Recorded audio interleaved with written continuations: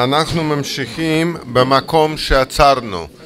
אני מתאר לעצמי שכולנו זוכרים את המסרים הקודמים, עכשיו אנחנו בשלב של חיצים.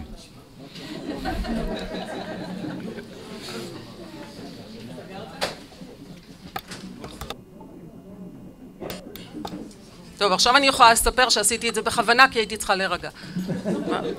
סתם. אז אנחנו ביחסי גומלין, וזה באמת החיצים, והקשר המדהים בין כל הבעיות הפסיכיאטריות לכמעט כל הפרעות השינה. אם יהיו שאלות אחר כך אני יכולה לפרט, אבל זה בערך יחסי הגומלין בין ההפרעות.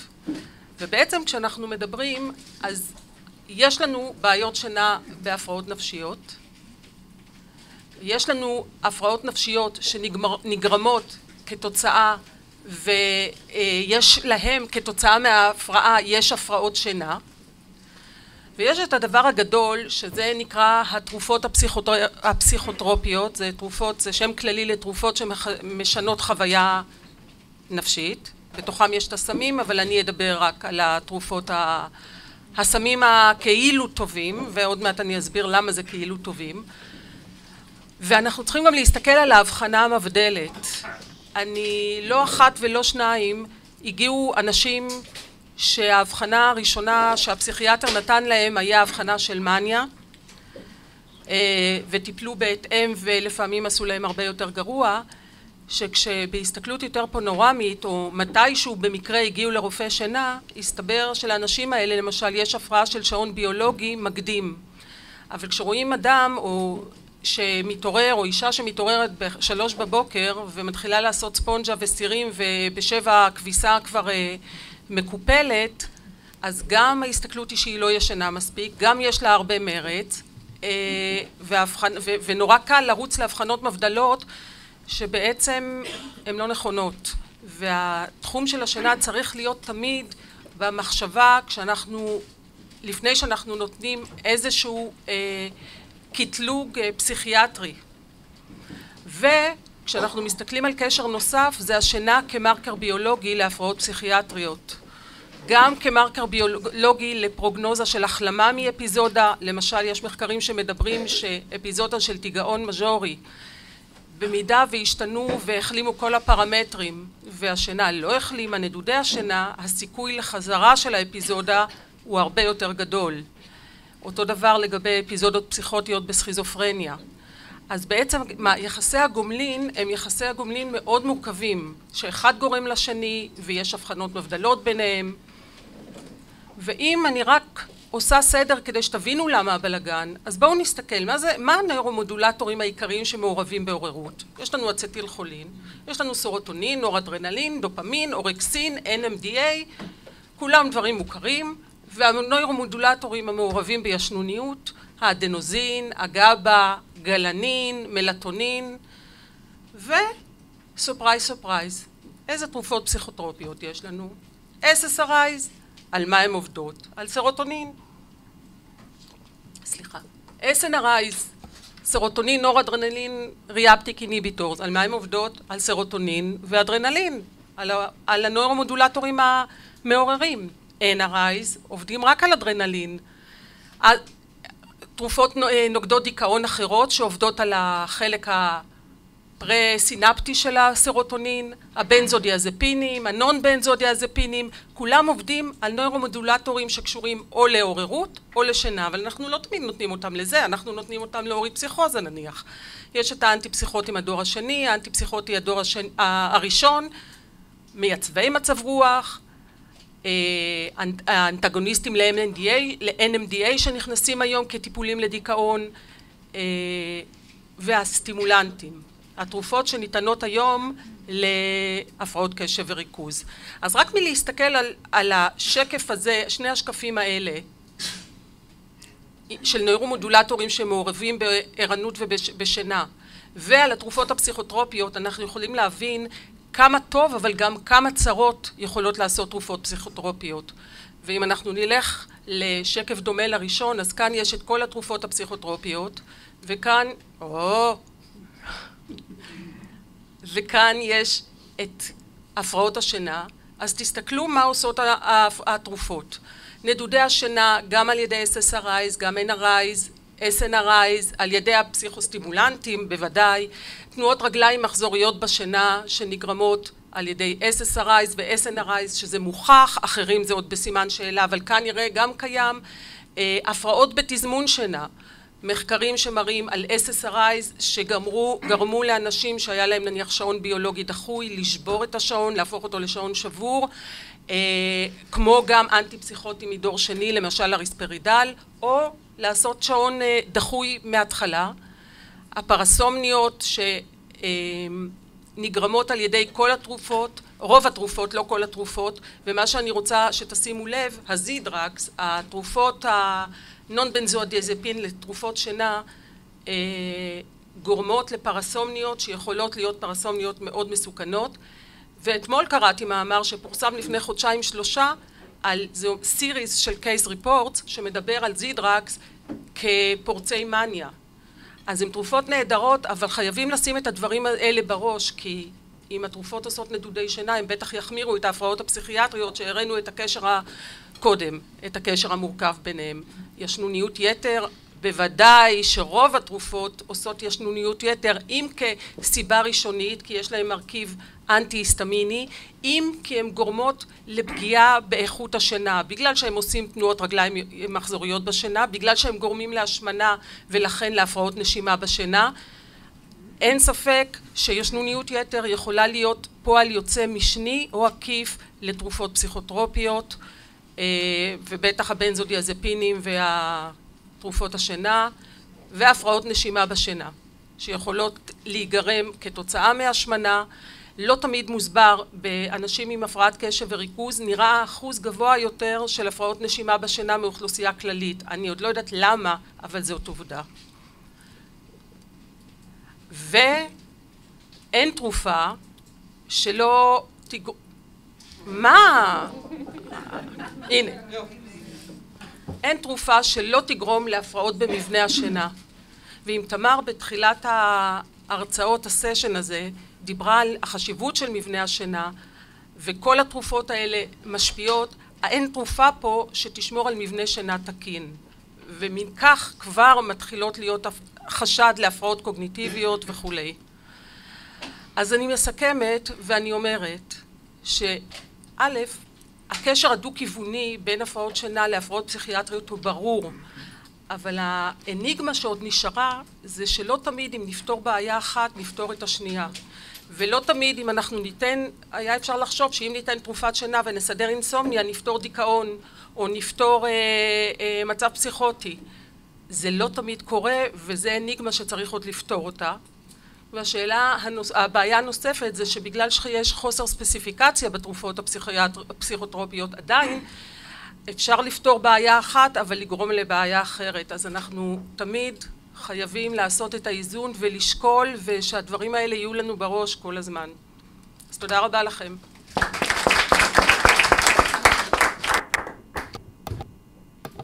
תודה רבה. אז עכשיו דוקטור לילך אה, קמר, מנהלת רפואה במכוני שינה של אסותא מרכזים רפואיים, נדודי שינה, בבקשה. תודה רבה. תודה על ההזמנה אה, להגיע לפה היום. אה, ואחרי שמיכל ניסתה לעשות סדר בנושא כל כך מורכב, אני אדבר על נושא קצת יותר ספציפי, שמעסיק את האנושות הרבה שנים. אנחנו מכירים את הציטוט המפורסם ממגילת אסתר. עכשיו יותר טוב? אוקיי. אז uh, הנושא שלי הוא נושא נדודי שינה ובעשר דקות ננסה להגיד את כל מה שאולי חשוב לדעת על קצה המזלג. אני uh, מתחילה מהגדרה של נדודי שינה, uh, ההגדרה לקוחה מהספר שלנו של uh, uh, רופאי השינה, אבל היא דומה להגדרות שמופיעות גם למשל ב-DSM 5 ובמקומות אחרים. אה, בעצם ההגדרה של נדודי שינה כוללת כמה אה, דרישות שכולם צריכות להיענות. הסעיף הראשון מדבר על מה הם נדודי השינה עצמם. קושי להתחיל לישון, קושי להישאר ישן, התעוררות מוקדמת מדי, ויש עוד קריטריון שלא מוזכר פה, שמוזכר בהגדרות אחרות, של אה, שינה לא מרעננת. לכאורה ישנים, אבל שינה לא מרעננת בלילה. אחד מהם לפחות צריך להיות קיים, הרבה פעמים יש כמה. הקריטריון השני מדבר על מה קורה עם האנשים האלה ביום. אוקיי, הם לא ישנו טוב בלילה, אבל מה קורה עם היום, וצריך להיות לפחות אחד מהבאים, ואם תעברו על הרשימה הזאת ברפרוף, תראו שמאוד קל להגיע ללפחות עוד אחד מהם. משהו יהיה פגוע, אני ארגיש עייף, אני אהיה עסוק במחשבות על השינה, אה, המצב רוח אולי, האירטביליות, התפקוד שלי ביום חברתית, בעבודה וכו' וכו' וכו', הרשימה פה מאוד ארוכה, ולמצוא עוד אחד כזה שקיים במשך היום זה ממש לא בעיה. אה,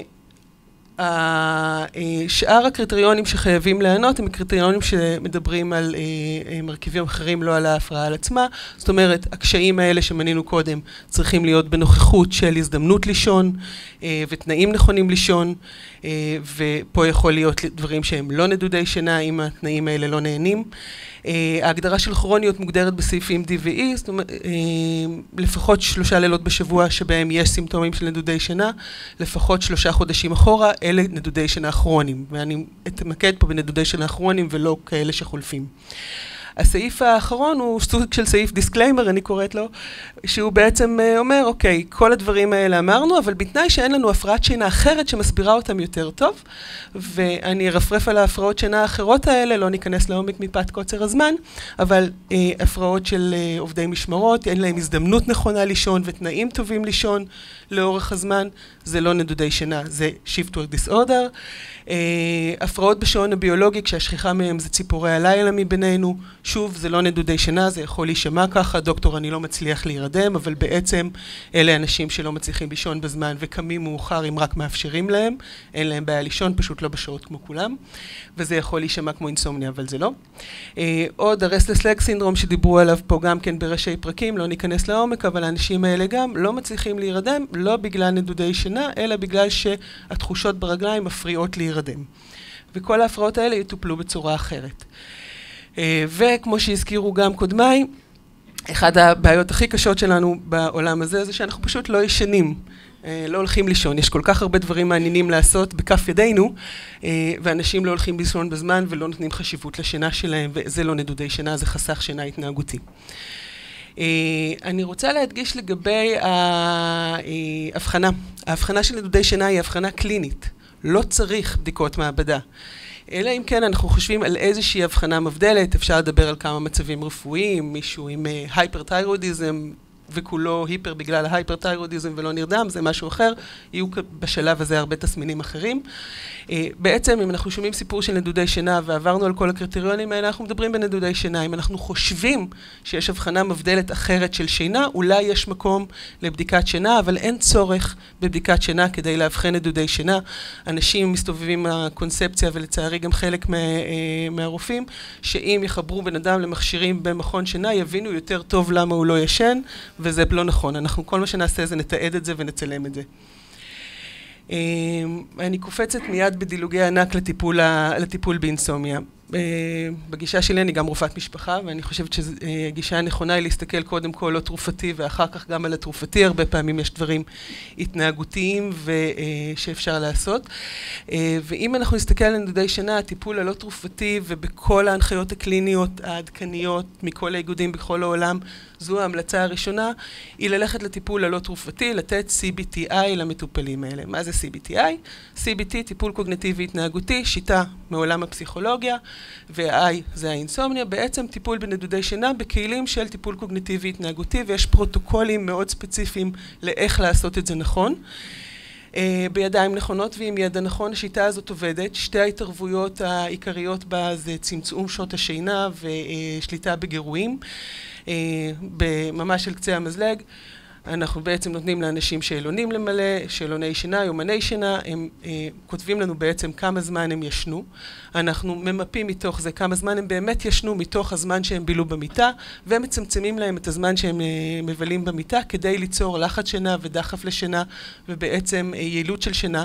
הרבה מהאנשים די שינה נוטים מבלות במילה, במיטה שעות ארוכות בכל מיני צורות כדי לתפוס עוד שינה, נשארים בבוקר עד מאוחר אם יכולים, נכנסים נורא מוקדם כי יהיה קשה להירדם וכו' וכו'.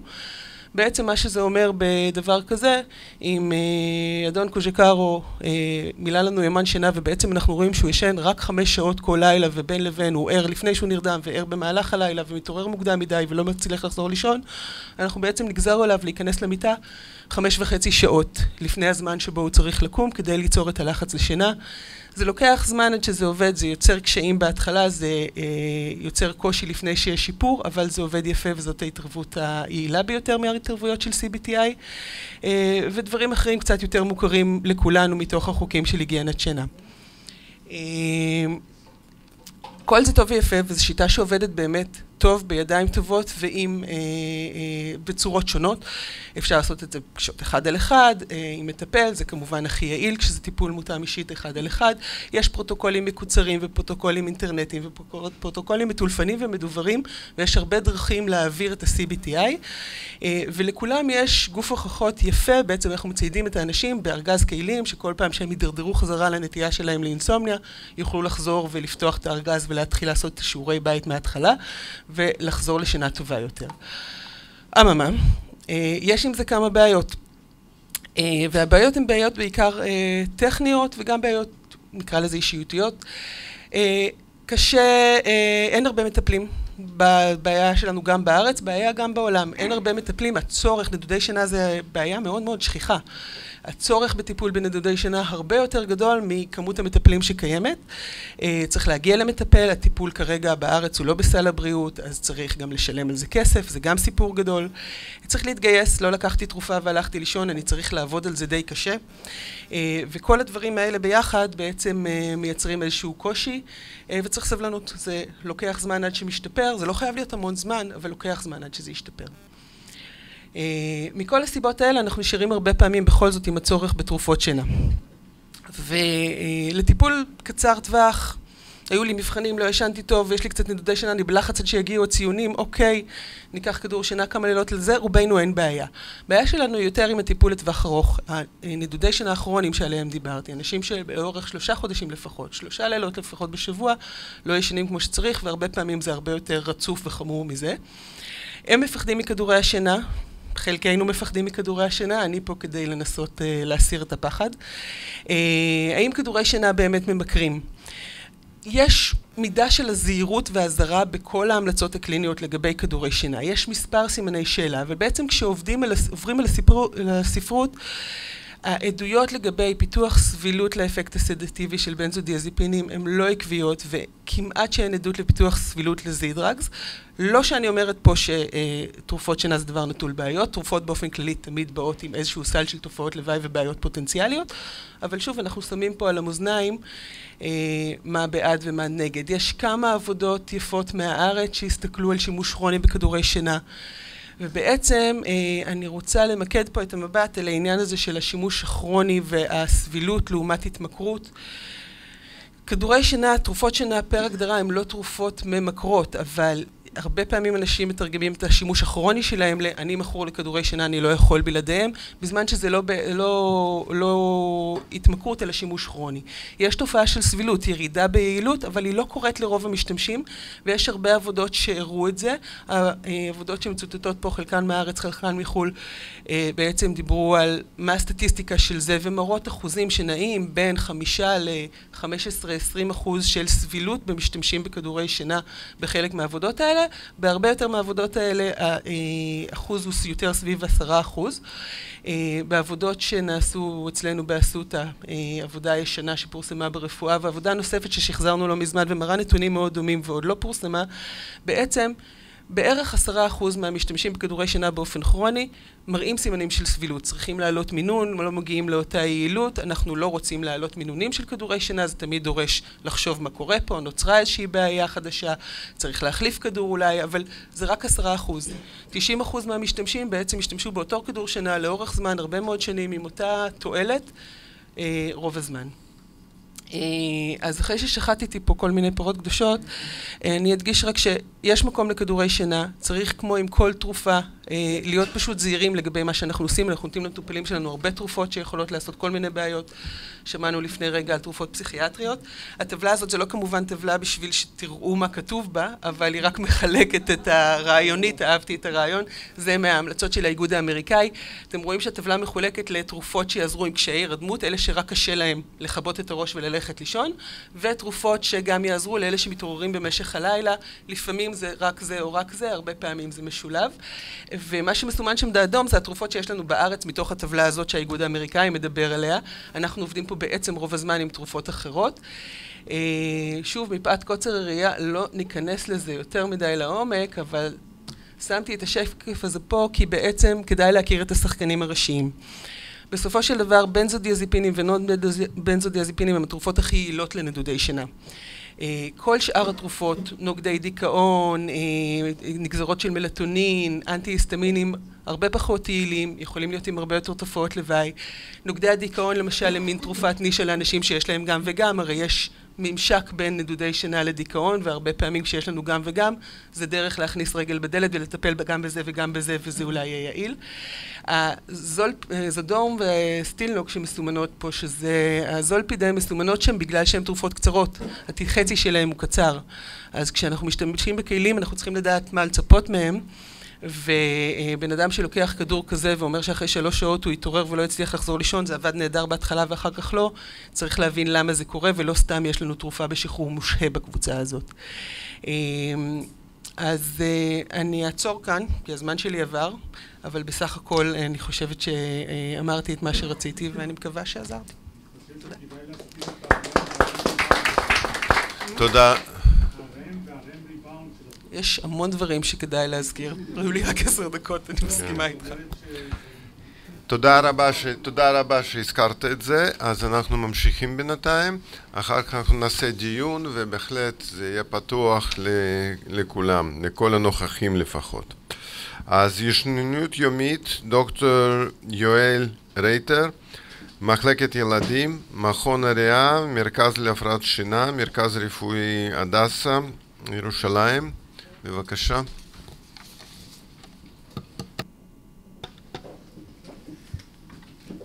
אז אחרי שלא ישנו נעבור לישנים קצת יותר מדי. אה, ונעבור לכמה מחלות ככה יותר ספציפיות עם אולי קצת בעיה של אה, הבחנה בארץ. אה, אז קודם כל פרספקטיבה, איפה אנחנו נמצאים והרבה מהדברים כבר הזכירו היום אבל ברפואת שינה אנחנו מדברים בסך הכל על שש קבוצות של הפרעות אני לא ישן, אני נושם לא טוב כשאני ישן, אני ישן בשעות לא מתאימות, יש לי התנהגויות מוזרות כשאני ישן, יש לי תנועות מוזרות כשאני ישן, והנושא של העשר דקות האלה, אני ישן יותר מדי, או הפרעות מרכזיות של ישנוניות יתר. אז קודם כל, מה ההגדרה של ישנוניות יתר? זה לא עובד כל כך טוב בעברית כמו באנגלית, אבל חוסר היכולת להישאר ער וערני בתקופה העיקרית של הערנות במהלך היום עם נפילות לתוך אה, שינה או אה, ערפול. ובילדים כמו הרבה דברים זה יכול להתייצג בצורה קצת הפוכה עם היפראקטיביות, קשיי קשב וריכוז, בעיות בבית ספר וכדומה. בשביל להיכנס למועדון צריך שהתלונות יהיו קיימות שלושה חודשים וצריך לשלול את הפרעות השינה האחרות ששמענו עליהן קצת פה היום איך אנחנו מקמטים ישנוניות יתר, שני הכלים העיקריים עם שאלון אפוורת' לישנוניות יתר ומבחן חביוני השינה או ה-Multiple Sleep Latency Test, בקצרה ה-MSLT, שאני אדבר עליו עוד קצת. אה, שאלון האפוורת', שמונה מצבים שבהם אנחנו מבקשים מהנבדק לדרג מה הסיכוי שהוא יחלום בהקיץ או יירדם לחלוטין. אפס, אין סיכוי שהוא יירדם, שלוש, הוא יירדם בטוח. ויש שאלון שמותאם גם לילדים עם קצת וריאציות על השאלות ובגדול תוצאה של עשר ומעלה אה, נמצאת קשורה לישנוניות יתר. וכמו הרבה שאלונים זה לא כלי מאוד יעיל בהבחנה אבל זה כלי לא רע במעקב אז איך אנחנו בכל זאת עושים את זה בצורה אובייקטיבית? אנחנו מביאים את האנשים לבדיקת חביוני השינה.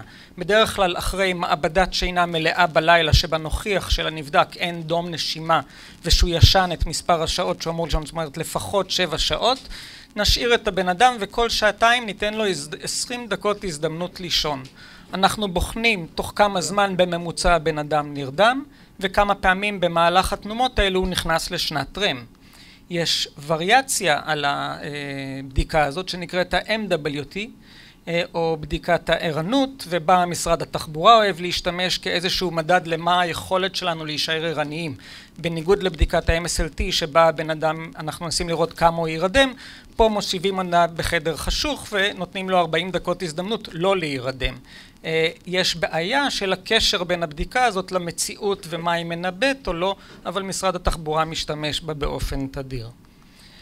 אה, אז על איזה הפרעות אנחנו מדברים? שלושת הקבוצות העיקריות פה של המחלות הראשוניות הם הנרקולפסיה, תסמונת קליין לוין וההיפרסומניה האידיופטית ואחר כך יש את כל המצבים השניוניים, אנחנו יכולים להיות ישנוניים משנית למחלות, משנית להפרעות פסיכיאטריות כמו ששמענו, משנית לתרופות אנחנו יכולים להיות פשוט אנשים שלא ישנים מספיק כמו רוב המתמחים, שמענו על מתמחים שהם לא ישנים מספיק ואנחנו יכולים להיות long sleepers, יש אנשים, בדרך כלל ילדים של משפחות עם נטייה כזאת, שפשוט ישנים הרבה שעות. אז ככה קצת יותר על הנרקולפסיה, מחלת הדגל בעצם של ההפרעה, מחלה נדירה יחסית בארץ. אנחנו מדברים על טטרדה של תלונות וניתן לסרט הזה לרוץ פה בצד.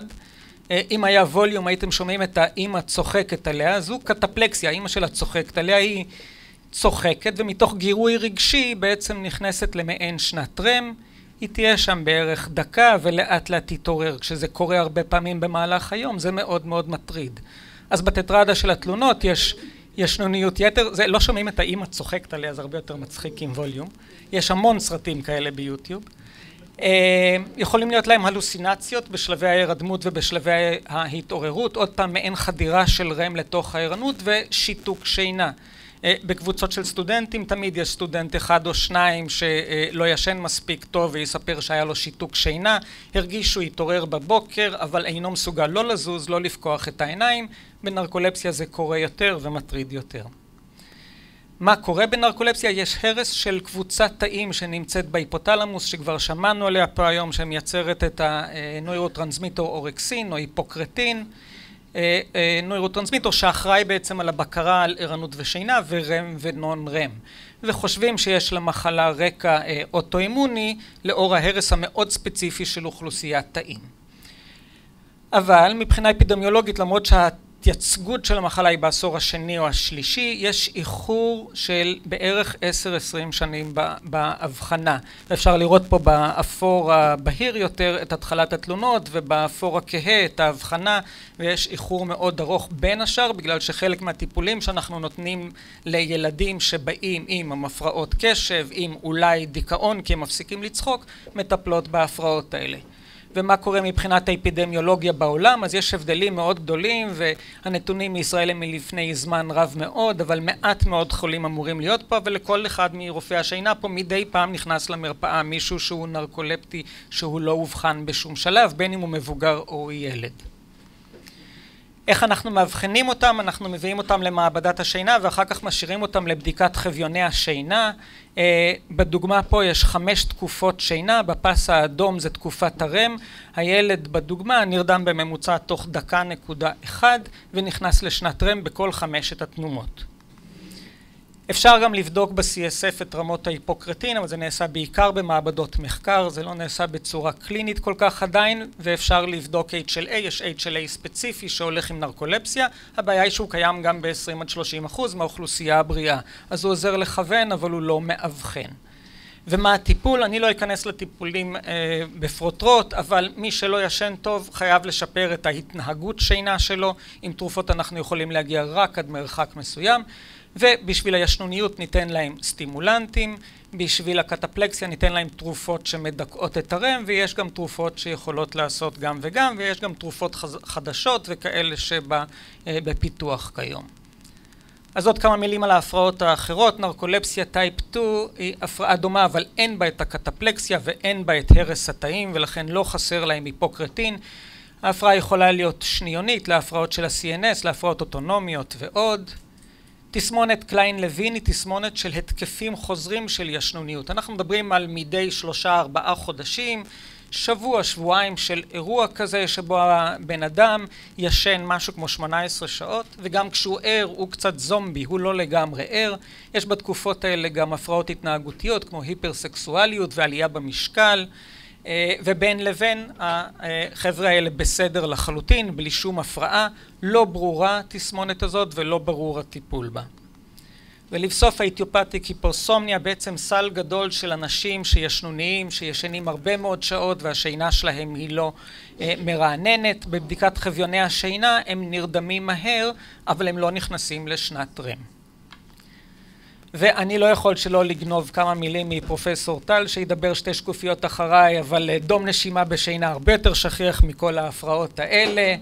וכשאנחנו מנסים לכמת את הישנוניות בדום נשימה בשינה זו בעיה כי הישנוניות נכנסת חלקית בהגדרה של דום נשימה בשינה, דום נשימה בשינה קל מוגדר בתוספת תלונות וישנוניות היא תלונה שכיחה ובכל זאת במחקר הצרפתי הזה למשל כדוגמה 57 אחוז מהלוקים בדום נשימה התלוננו על ישנוניות וכשטיפלו בהם בסיפאפ אז חלק מאלה שהייתה להם ישנוניות או חלק גדול הישנוניות עברה אבל מצד שני חלק מאלה שהתחלנו לטפל בהם בסיפאפ או חמישה אחוז מתוכם התחילו להתלונן על הישנוניות דווקא עם הטיפול ובכל זאת כשמסתכלים במטה אנליזות ככל שאנחנו מטפלים בסיפאפ יותר שעות יש יותר שיפור בישנוניות ואפשר לראות את הגרף פה.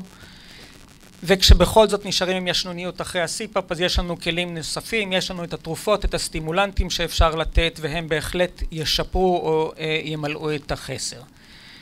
ואני תמיד שואל סטודנטים ולמה אני מציק לכם עם כל השטויות האלה? אז מעבר להשפעה על איכות החיים והבריאות באופן כללי תאונות דרכים יש מחקרים שמראים בעיקר על גברים שככל שדום הנשימה קשה יותר יש יותר נטייה לתאונות דרכים אבל גם בנשים גם בגברים ברור לחלוטין בדום נשימה שככל שאתה מתלונן יותר על ישנוניות הסיכון שלך לתאונות עולה.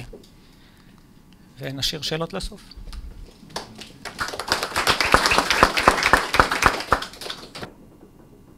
תודה רבה, אנחנו ממשיכים, שינה במתבגרים דוקטור אורנה סבר אני מניח שם, נכון? אז רופאה בכירה, המרכז לרפואת שינה, בית החולים איכילוב, בבקשה.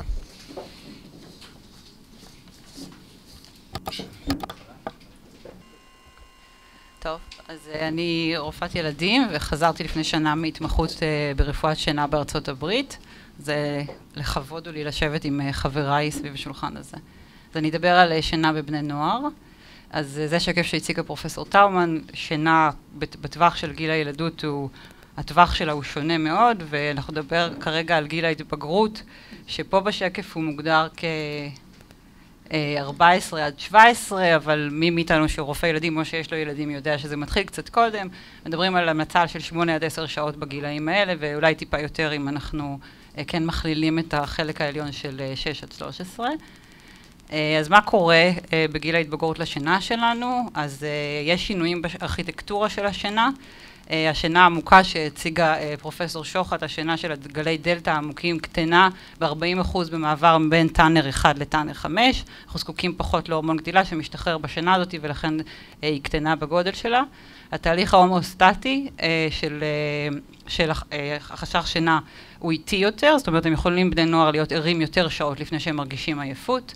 התהליך הצירקדי שלהם, של התזמון של השינה הוא מאוחר, זה משני לאיזשהו אופסט של השחרור של המלטונין שלהם והזמן שלהם האידיאלי פתאום ללכת לישון סביב גיל 11-12 מתחיל להיות ללכת לישון ב-11 בלילה ולקום ב-8 בבוקר שזה מהווה בעיה עם זמן בית ספר שתכף נדבר גם על זה.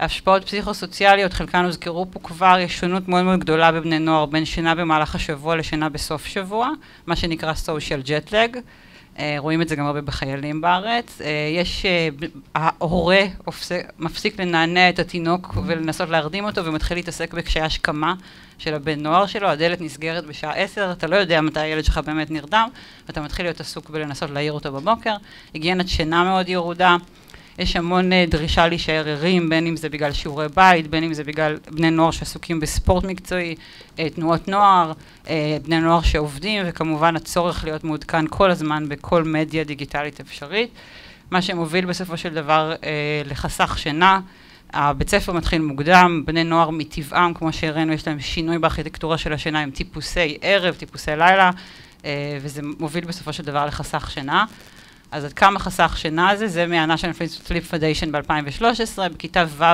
רוב הילדים עדיין ישנים מעל שמונה שעות.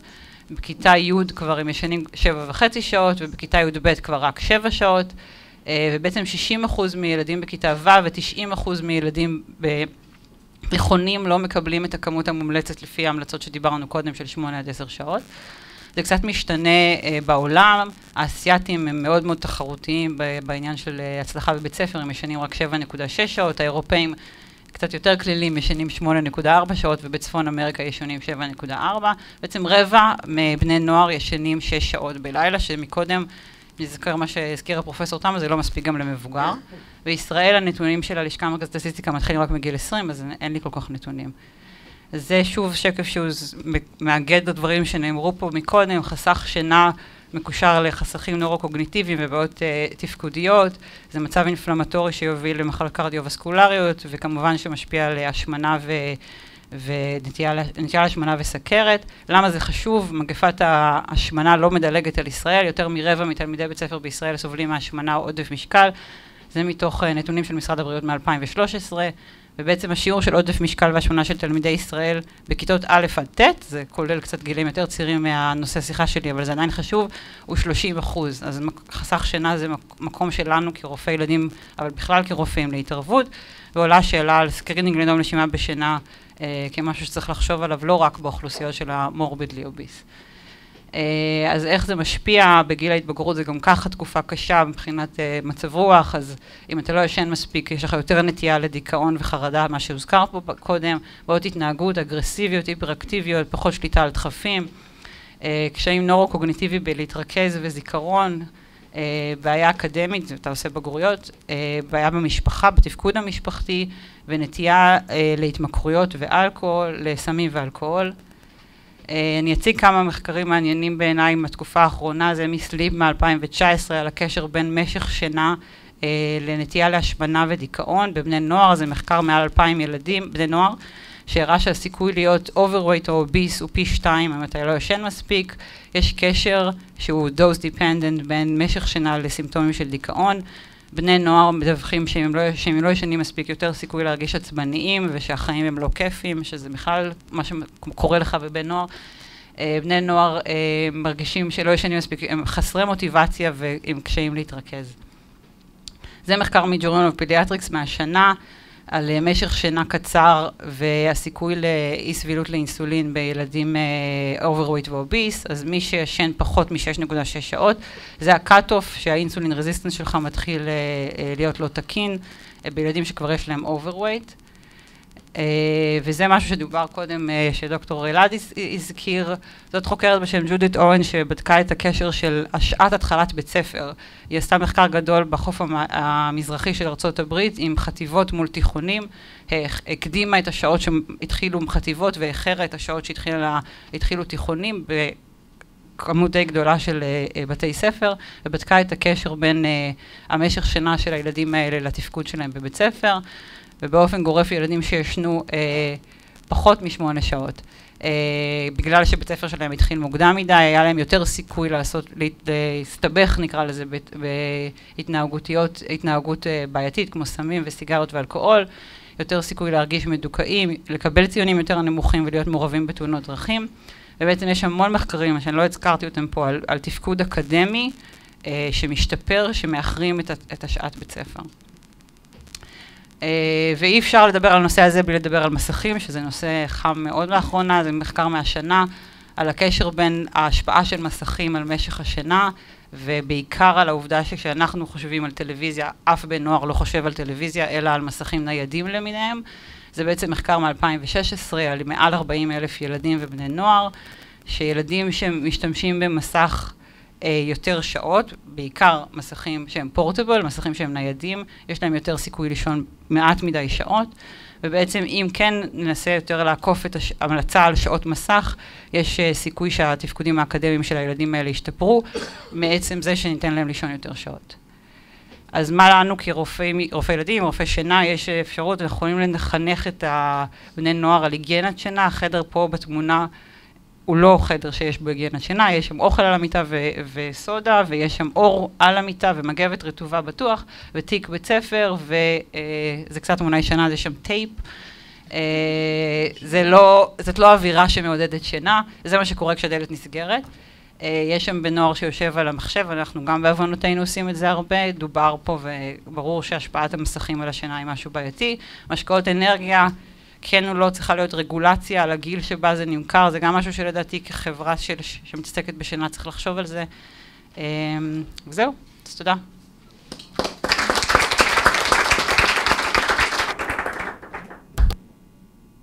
תודה רבה.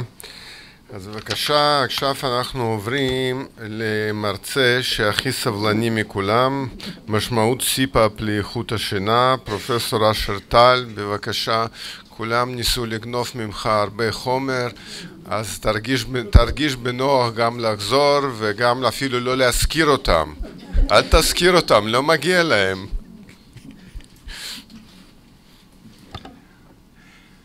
אוקיי, okay, תודה על ההזמנה. אני חושב שהארגון של היום הזה הוא מאוד מאוד חשוב. גם לנו כחברה לחקר השינה, ותשימו לב שיש פה בערך חצי מה... מהנוכחים שהם רופאי ילדים. אמ, בדיקת שינה היום זה משהו שהוא מאוד פופולרי, גם כמו שאמרו לאינסומניה, אבל מה שחשוב בעיקר זה לאבחון של הפרעות נשימה בשינה. אני רק רוצה להגיד כמה דברים למה זה חשוב לי היום הקטע הזה על הסיפאפ.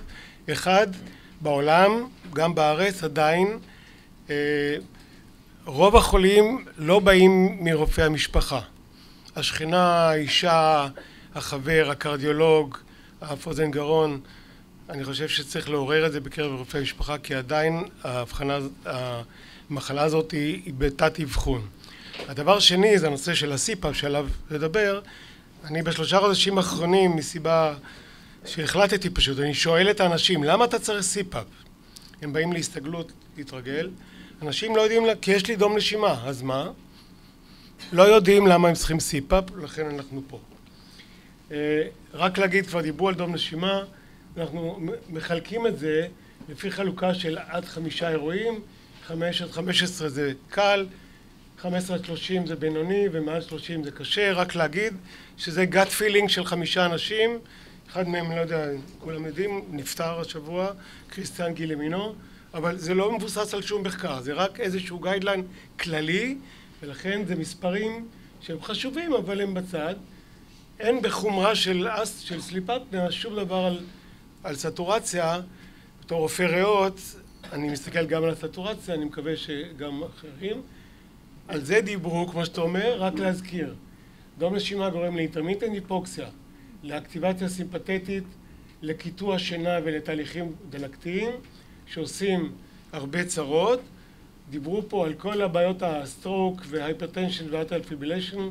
לזכור בבקשה את ה-daytime sleepiness שהזכיר יואל ואת כל הסיבוכים וההשלכות על איכות חיים, על תפקוד ביום, מה שאלעד הדגיש מאוד וכמובן אנחנו פה בגלל שיש הרבה תאונות דרכים ותאונות עבודה אה, בקרב חולי sleep apnea. הטיפול ב sleep apnea, ב obstructive sleep apnea הוא CPAP מקום ראשון. מקום שני CPAP, CPAP, CPAP ואחר כך אפשר, מי שלא מוכן או לא התרגל או רוצים לשלב עוד, הפחתת משקל, טיפול תנוחתי, לא לישון על הגב אה, התקן דנטלי לקרב את ה... לדחוק את בסיס הלשון קדימה ולשחרר את ה-airway וסרג'רי פה הוא אחרון במקרים מאוד מאוד סלקטיביים. אה, רק להזכיר לכולם, אנחנו, זה, הסיפאפ התגבר על כל חסימה איפשהו לאורך דרכי הנשימה העליונים, לא משנה איפה. זה הטיפול בעצם שפותח את דרכי הנשימה בכל התופעות של סליפ אפנה אם זה עודף משקל וגם באנשים בלי עודף משקל. מה שחשוב לי היום להגיד שהמכשיר הוא פחות חשוב. עד לפני שנתיים המכשיר היה business, חברות מכרו סיפאפים באלפי שקלים, זה היה חגיגה של זה, היום הקופות הורידו את זה למחירים נורמליים, ומה שחשוב זה לא כל כך המכשיר, אלא ה interface עם הפנים. כל אחד צריך להתאים לעצמו את המסכה. זה מאוד מאוד חשוב. אני חושב שזה קריטי, ואני מגיע לעניין של אינדיקציה. מי צריך CPAP? זה ויכוח מאוד מאוד גדול. אני רק אומר, אני אראה לכם את ה guideline, אבל בעצם אני כבר אומר, זאת התחלה של הרפואה האישית. כל אחד יש לו את הרקע שלו ואת הקומורבידיות שלו ואת חומרת המספר ה apnea hypopnea index ואת הסטורציות ואת כל התחלואה מסביב ואת התפקוד ביום והרופא שמתווה את הטיפול ב CPAP צריך לקחת את כל השיקולים ביחד ולא רק להסתכל על המספר של האירועים. בספר, כן, מאיר קריגר, מורי ורבי, אקס וויניפג, היום הוא בייל, הם כתבו ב American Academy Sleep Medicine, כל אחד שיש לו מעל 30 אירועים בשעה צריך CPAP. וכל אחד שיש לו מעל חמישה אירועים, בין חמישה לשלושים, אנחנו מציעים CPAP כטיפול ראשוני, אבל מי שחושב שהוא לא יוכל להתרגל או קשה לו, יכול, אפשר לבחור מהטיפולים האחרים כמו משקל, התקן דנטלי וכירורגיה. אבל בעצם ה American Academy מסתכלים על ה CPAP כאל הטיפול העיקרי. יש מקומות אחרים שאומרים חמישה עשר אירועים ומעלה, או moderate to severe, ואני מזכיר, זה לא תורה מסיני החמש עשרה הזה, זה כדאי כבר לחשוב על CPAP. ב mild, זאת אומרת בין חמישה לארבע עשרה אירועים, אם יש ישנוניות יום קשה, בעיות קוגניטיביות, או בעיות קרדיו-וסקולריות, או היסטוריה של שבץ מוחי, כדאי לתת לו CPAP גם אם זה קל. רק להגיד, אה, חושב שזה היה אביב שהראה את העקומות. תראו, זה מ-2005, זה Lancet 2005, אתם רואים שלאורך איקס חודשים, מספר שנים, אירועים פטאליים קורים לאנשים שלא לקחו CPAP, חולים ב OSA בלי, שלא קיבלו CPAP, לעומת בריאים ואלה שכן קיבלו CPAP. רואים את זה בבירור, ותשימו לב, זה מתחיל לא מיד. ההבדל המשמעותי מתחיל אחרי מספר שנים. אותו דבר בנון פאטל, קרדיו-וסקולר איבנט, זה הולך ומתגבר באלה שהם ממשיכים בלי הטיפול בסיפאפ. אותו דבר עבודה מגרמניה, אני הבאתי אותה כי פה זה to moderate sleep apnea. גם אלה יש להם, וגם אלה שאין להם רקע קרדיו-וסקולרי ויש להם to moderate sleep apnea, יותר ויותר מהם נפרדים מאיתנו טרם עת, בגלל שהם בלי CPAP. זאת עבודה מ-2019, ממש אחרונה, צרפתים, שלקחו 400 חולים של-80 ומשהו כן נתנו CPAP, כל האחרים לא לקחו את ה CPAP, ותראו שאחרי בערך 4-5 שנים, אז מתחיל להיווצר הפער. זאת הסיבה שהמאמר שאביב הזכיר מ New England, שה CPAP לא מנע cardiovascular event, היו שם פחות מארבע שעות שינה, וגם לא היה מספיק follow-up. אז ב follow-up של 11 שנים, מי שטופל ב CPAP, זה חסך, חסך 65% פחות mortality, all cause mortality. אז CPAP יכול למנוע mortality. בקיצור נמרץ, האמריקאים אומרים שיש להם 250 מיליון תושבים, 23 מהם, 80 אחוז, סליחה, 12 אחוז יש להם סליפ-אפניה, כמעט 30 מיליון, שמהם רק 5-6 מיליון מאובחנים. מהם, תסתכלו, 85 אחוז מטופלים בסיפאפ וכל הדברים האחרים מספרים בודדים. עדיין רוב החולים לא מאובחנים, הטיפול במי שיבחנו אותו עולה כשישה מיליארד, 12 מיליארד דולר, הטיפול באלה שלא אובחנו עולה 150 מיליארד דולר, כי לא, כי לא טיפלו בהם.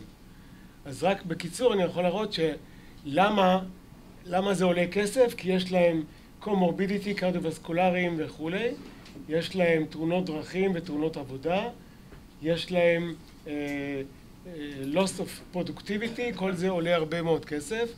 מי שטיפלו בו, ההבחנה לא עולה הרבה כסף, מעבדת שינה היום רוב האנשים לסליפ-אפ עושים את זה בבית, והטיפול, ההתרגלות לסיפאפ וכולי היא יחסית זולה היום, וזה חוסך הרבה מאוד כסף לטפל.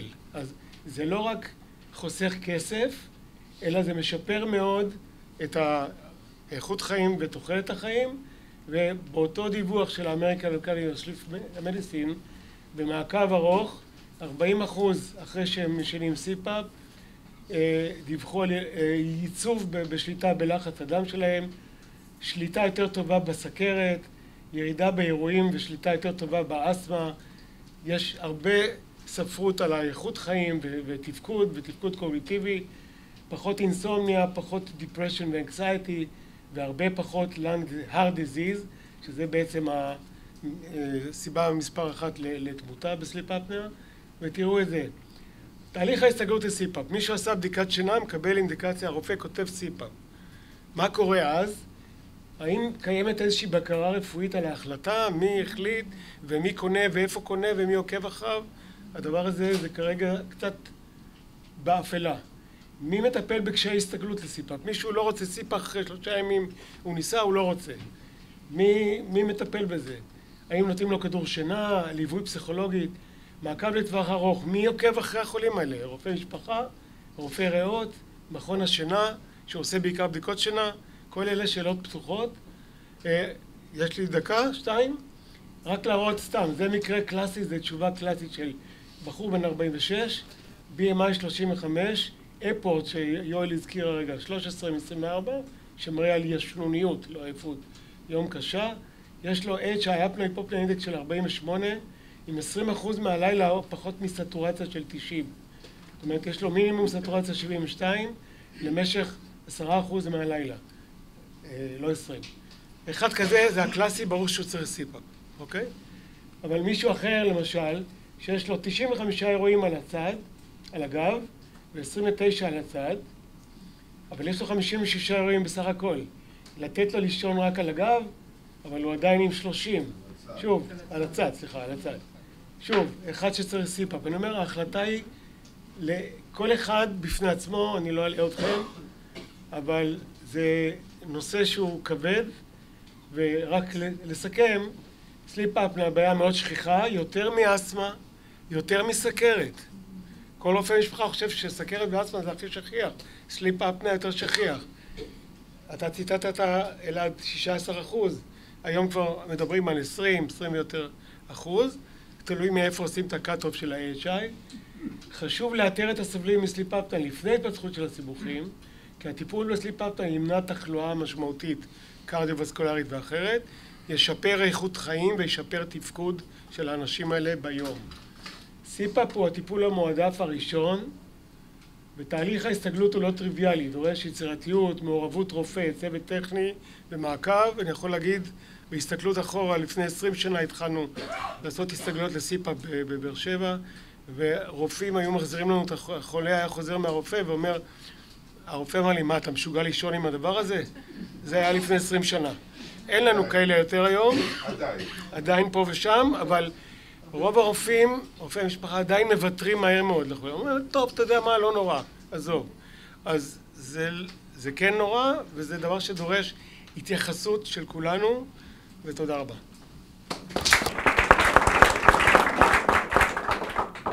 תודה רבה. אני קודם כל רוצה להודות לכל המרצים. אני חייב להגיד שאתם מדהימים. סיפרתם לנו כל מה שאפשר לספר, אני חושב, ועמדתם בזמנים, זה מדהים. אז קודם כל תודה רבה. אני רוצה להודות במיוחד לפרופסור טאומן שארגנה את זה ומצא מומחים כל כך, כל כך, כל כך בולטים. עכשיו אנחנו פותחים את זה לדיון, בבקשה, שאלות, הערות. כן, בבקשה.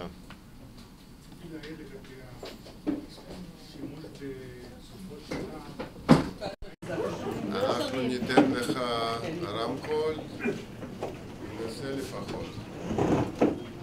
לגבי תרופות שינה, אני לא הייתי אומר בצורה כל כך אה, פתוחה להשתמש בהן בצורה די מקיפה בגלל הנושא של הרם והרם ריבאונד שהן עושות בגלל שתיכנסו לכל בית אבות או בית חולים פסיכיאטרי שהאחיות והרופאים הרבה פעמים מחלקים תרופות שינה בשביל שיהיה שקט במחלקה ואחר כך משלמים את המחיר של הרם ריבאונד.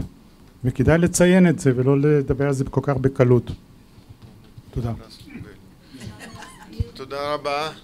בבקשה בוא אה, סליחה שלמה ידין, פסיכיאטר, אה, להפרעות השינה שמחייבות אולי אחר כך CPAP, דום נשימה בשינה, איזה חלק מההפרעות האלה אנחנו יכולים אה, לבדוק את זה לא בשינה במעבדה, אלא בבית, על ידי מכשיר ביד או משהו אחר, דרך, ואני פשוט לא יודע את זה.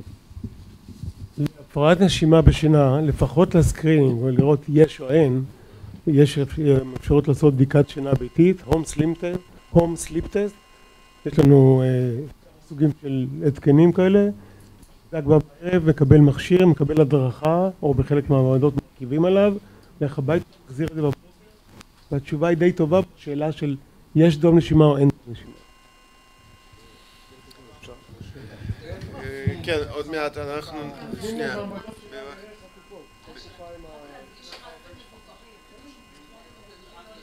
שנייה, אה, לא שומעים, לא, שנייה. בוא, בגלל שאנחנו גם מצלמים, אז קודם כל שכל אחד ידבר עם המיקרופון, וב' אם היה לך מה להוסיף, תשתמשי במיקרופון. רק רציתי להגיד שזה נכון למבוגרים אה, ולא ב, לא בילדים. בילדים עדיין הבדיקת, בדיקות השיניים מתבצעות במעבדת שינה.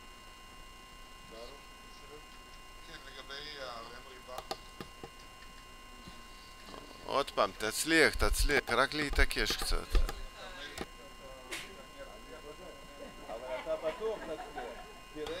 עכשיו, כן. תשובה לגבי רם ריבאונד. תראה, אני, אני חסיד קטן מאוד של כדורי שינה, אבל לא צריך להאשים פושע גנב שהוא גם uh, פנה בלי, פנה בתמרור עצור. כדורי שינה, לפחות הבנזודיאזיפינים והזי-דרגס, הן כמעט ולא משפיעות על שנת רם.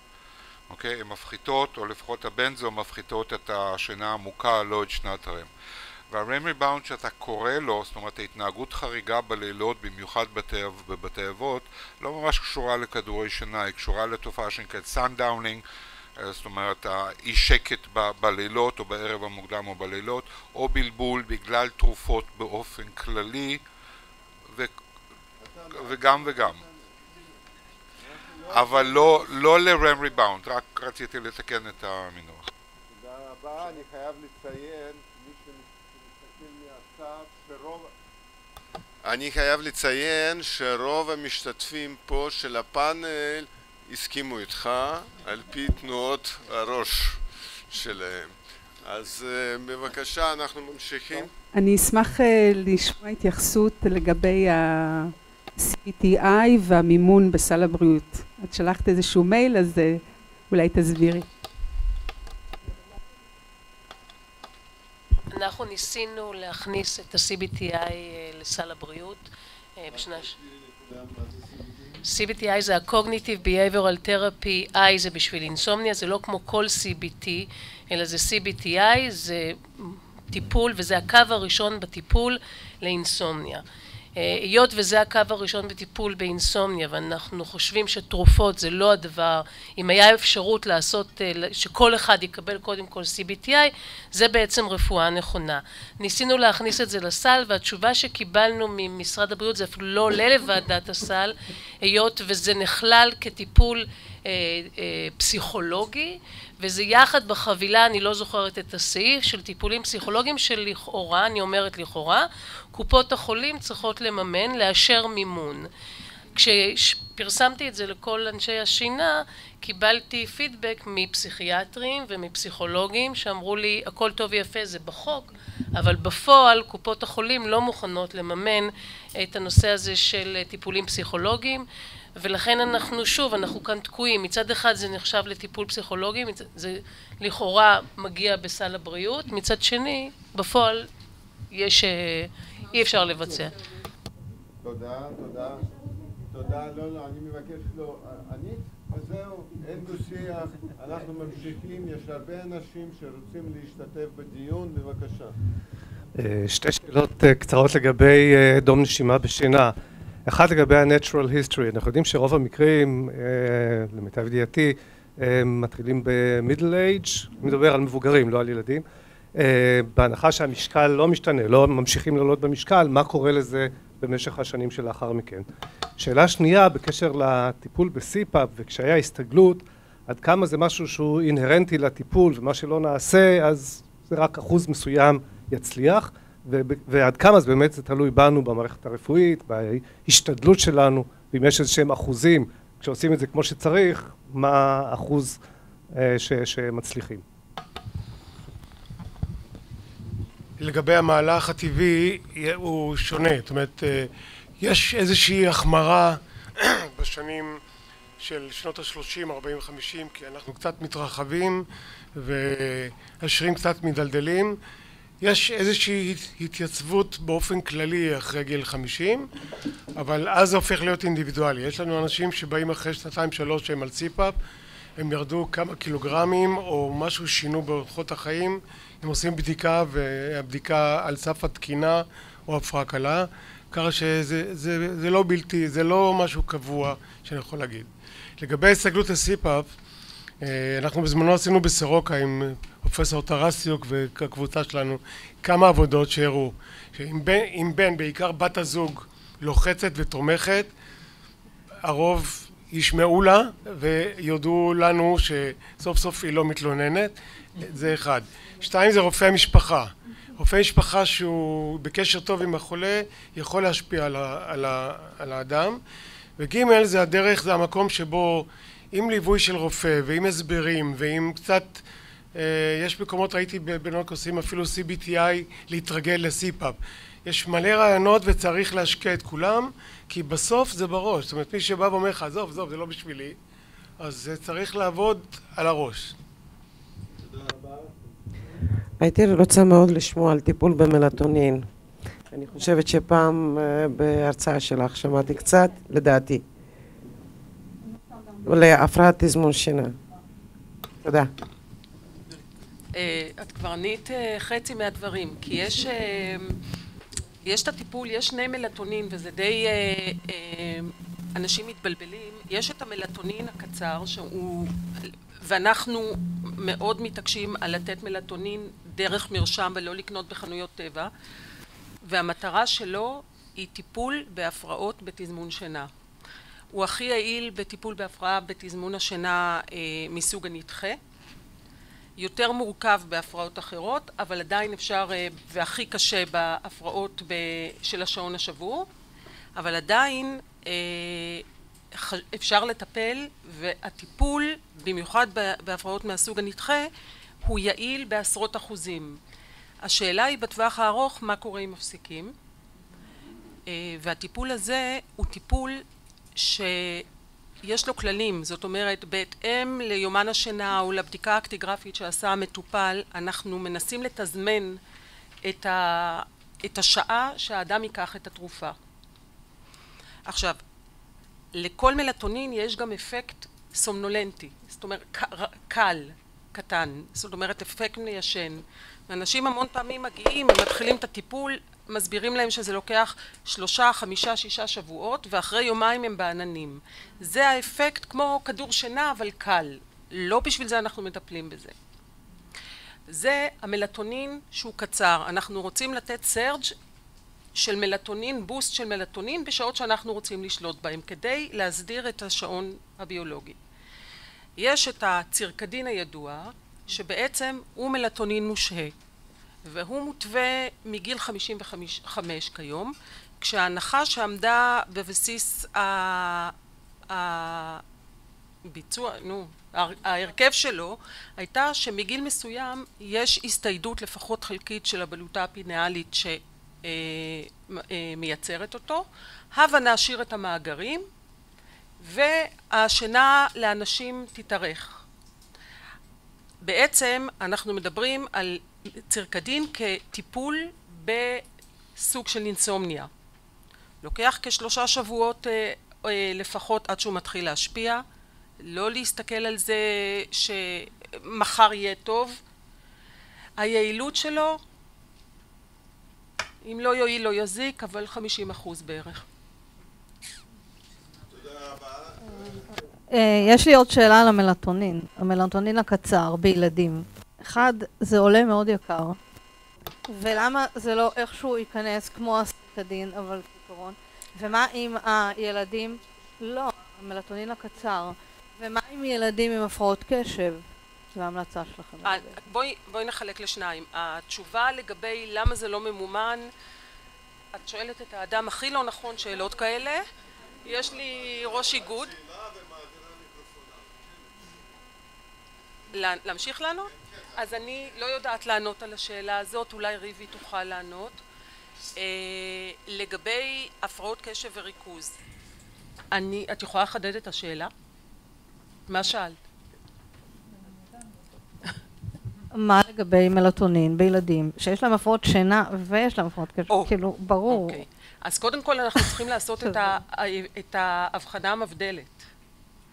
כי ילדים שמכריחים אותם לקום בבוקר בשמונה לבית ספר ויש להם שעון דחוי, הם יכולים להדגים תסמינים של הפרעת קשב. זה מצד אחד, וצריך לעשות את ההבחנה המבדלת. מצד שני, אמ, הילדים עם שעונים דחויים, שזה, אני אומרת על דחוי כי בנוער הדבר הכי שכיח זה השעון הדחוי ולכן אני מדברת עליו, הם יהיו הרבה יותר יעילים, הרבה יותר אה, מרוכזים בשעות אחרי הצהריים. זאת אומרת, אם יעשו להם בחינות בבוקר לעומת בחינות אה, בחמש או שש, יהיה הבדל, אוקיי? אז קודם כל אנחנו צריכים לעשות הבחנה מבדלת. עכשיו, יש גם, יכול להיות שיהיה גם קינים וגם פשפשים. והטיפול הוא בהתאם, גם בקינים וגם בפשפשים. אני רק רוצה גם להגיד משהו לגבי תשובה לגבי קשב וריסקוס צריך לזכור גם שילדים היפראקטיביים יש להם בעיה to shut down בערב ולכן אנחנו כן משתמשים ללא קשר לטיפולים בסטימולנטים ב, בילדים היפראקטיביים אנחנו כן נותנים מלטונין to induce sleep שלפחות לא יהיה להם חסך שינה אה, כדי שיספק להם משך שינה אה, תקין. לגבי הנושא של אה, מלטונין אה, שהוא לא בקופה לילדים היפראקטיביים ברור שהוא לא, בס... לא ברור אבל הוא לא בסל צריך לזכור רק שתי הקופות הגדולות. בילדים עם העיכוב ההתפתחותי הילדים הבאמת הנוירולוגיים הקשים יותר זה ילדים ששתי הקופות הגדולות אני לא יודעת לגבי שתי הקופות הקטנות נותנים את ואוטיזם סליחה ואוטיזם זה הכי חשוב והילדים האוטיזם יש, יש להם ממש במחיר מאוד מאוד זול את המלטונין. גם מכבי גם כללית לא יודעת לגבי האחרות. גם מקבלים בצורה משמעותית יותר... אה, אני רוצה לשאול את דוקטור אורנה. הם... אה,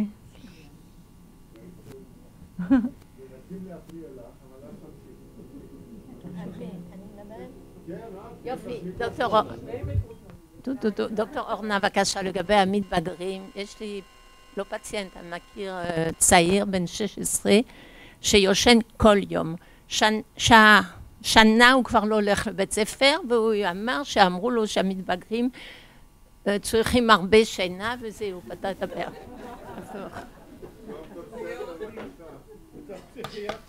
אז צריך כמובן לכמת את זה, נכון שבני נוער התזמון שלהם של השינה הוא טיפה שונה ויכול להיות שיש להם קשיים לקום לבית ספר ואז קשה לו אולי להיכנס למסגרת נכונה אבל אם זה מתחיל להיות ישנוניות יתר זה עובר כבר לנושא שדיבר עליו. יושן פשוט והאם הרופאה להורים אין שליטה על זה. אז יכול להיות שזה עבר לטווח של ישנוניות יתר במסגרת המחלות שדיבר עליהן דוקטור רייטר כמו נרקולפסיה או מחלות של ישנוניות יתר אה, לא, שהיא היפרסומניה, בעיה מרכזית בשינה.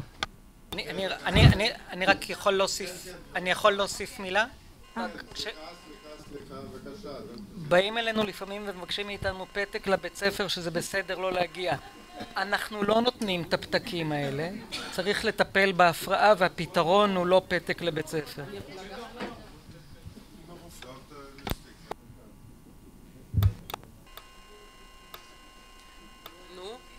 אוקיי. אני רק רוצה... מה שצריך לעשות עם הבחור שאת מכירה, זה קודם כל לבדוק אם מה שהוא עושה בחדר זה באמת לישון. ולא... אז זה דורש בדיקה באמת.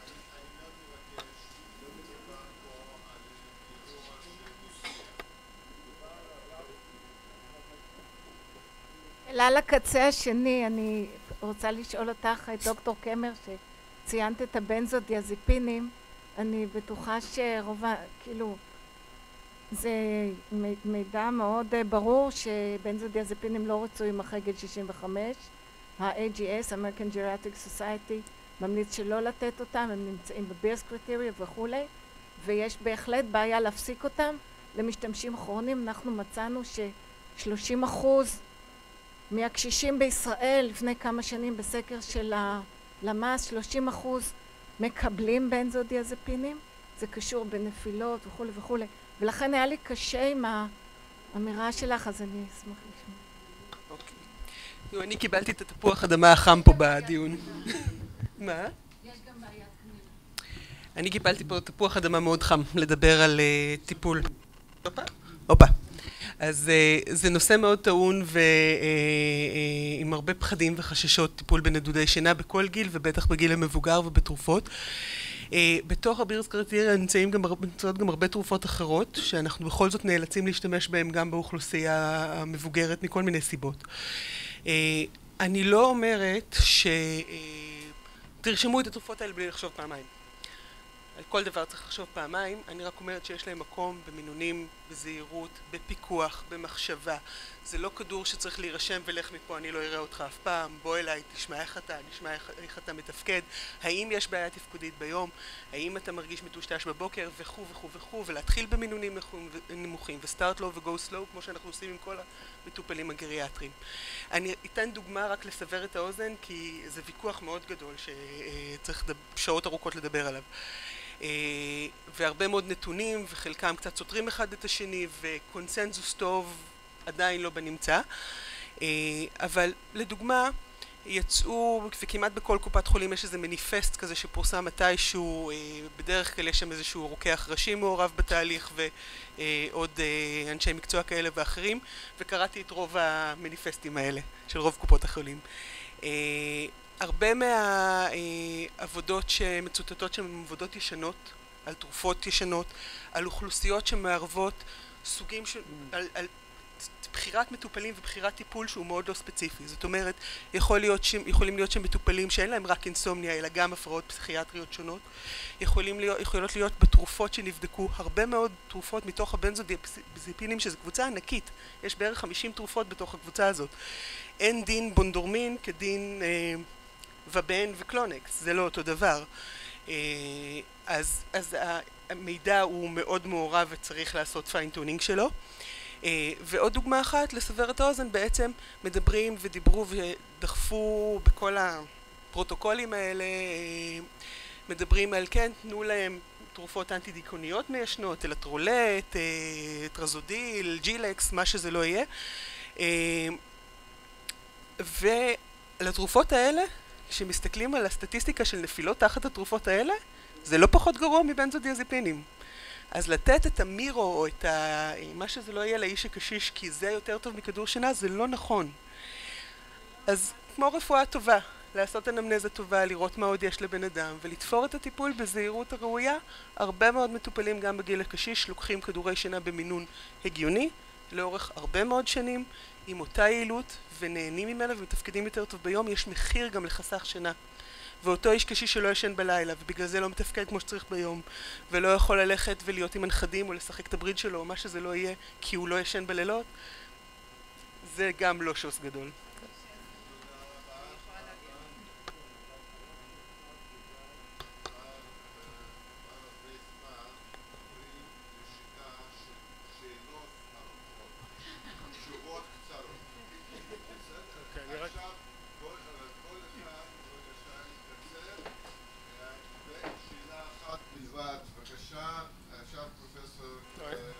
רק להגיד, לחזק את מה שאמרה, ולאז, בנקודה אחרת. תראו, את הזכרת ספר למה אנחנו ישנים, סמית משהו, הוא פי, ווקר, PhD מאנגליה, שחצי ספר הוא מסביר בצורה די בוטה לפרצוף למה, מה יקרה לנו אם לא נישן, אם לא נישן מספיק, אם יהיה לנו שינה קטועה, אם יש לנו דום נשימה, מחלות ומחלות, אתה...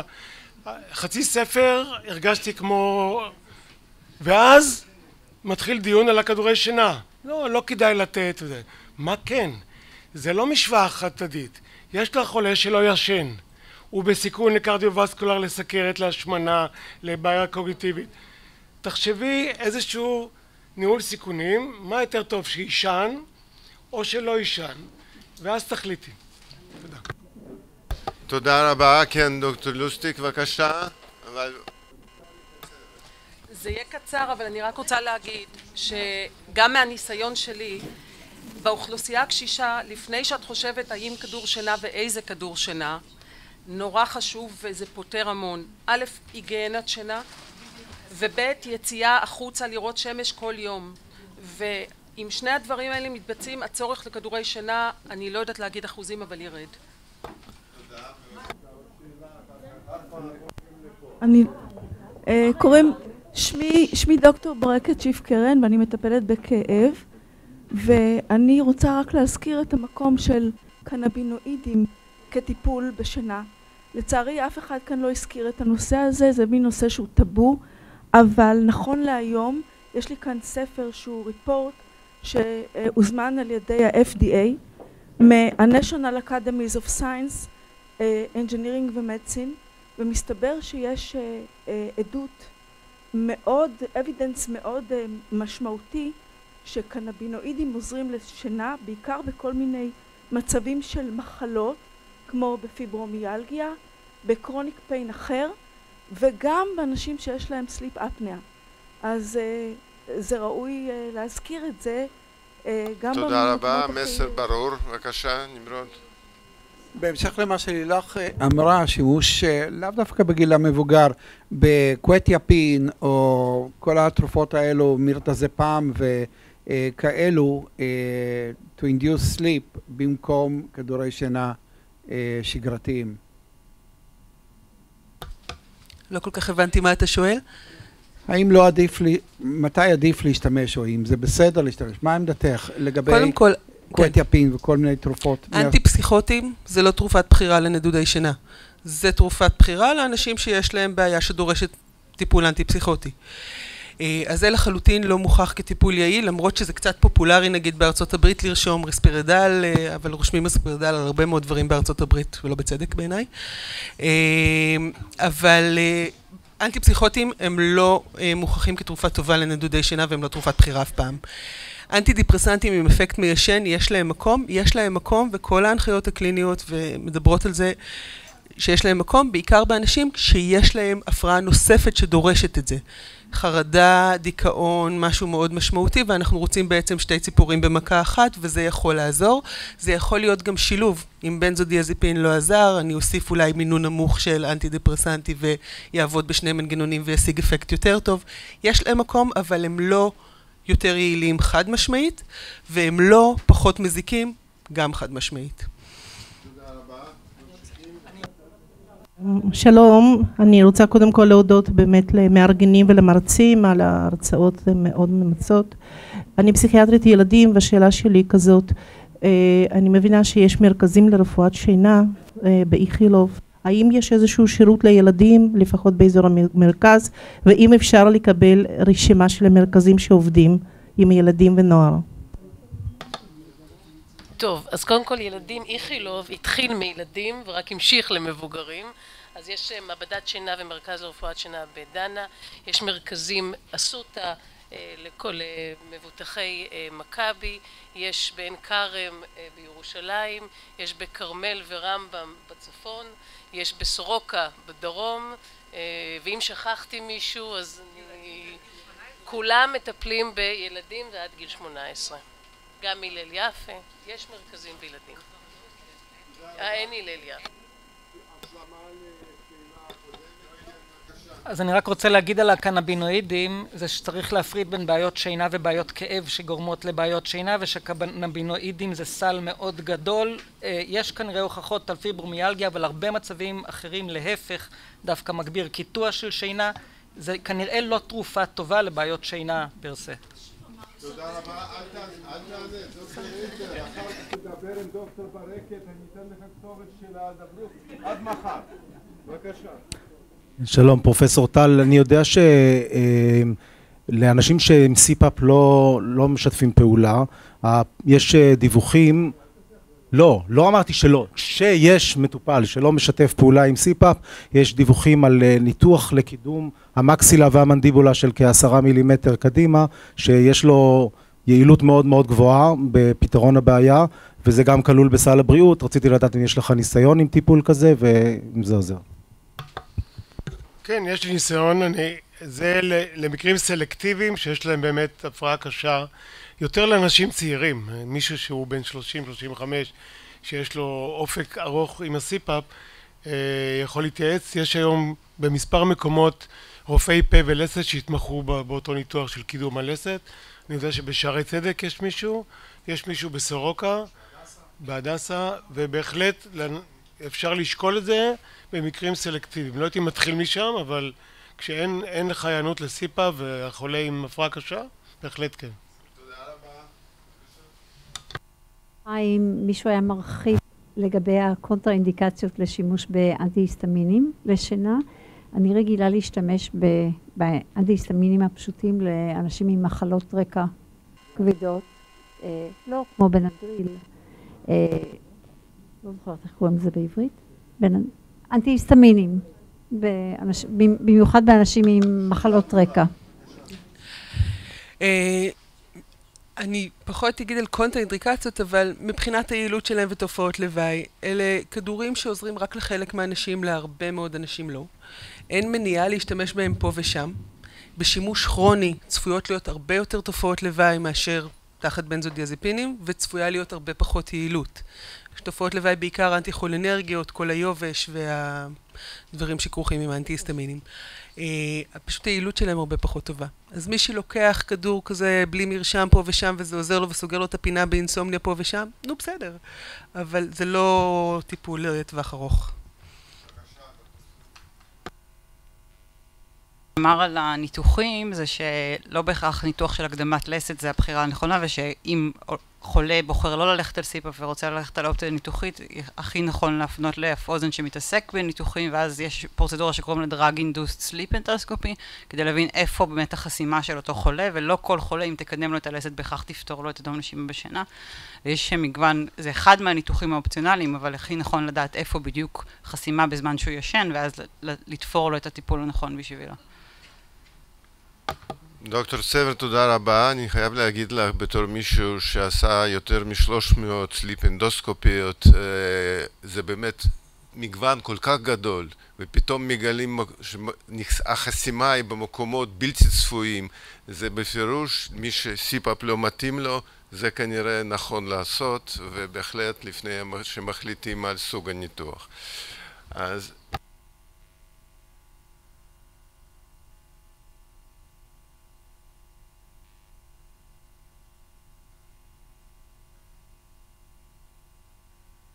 יש התייחסות למצב הורמונלי, אה, חסר טסטוסטרון, ואצל נשים חסר באסטרוגן פרוגסטרון, אה, וגם לגבי חסר מגנזיום, כי אלה דברים שהועלו, אין עליהם הרבה מידע, אבל כן יש מידע בהקשר הזה של אה, הפרעות שינה, ולעיתים כשמטפלים בזה, זה יכול לשפר. התייחסות. בגדול אינסומניה, אנחנו יודעים שנשים אחרי, בגיל הבלות, זה מקדים את התופעות האחרות של המנופאוזה אה, וזה נמשך לאורך שנים. אין ספק שאינסומניה זה אחת המניפסטציות של אה, אה, המנופאוזה ובהחלט אנחנו מטפלים בזה וגם הגניקולוגים יודעים את זה ומטפלים בזה.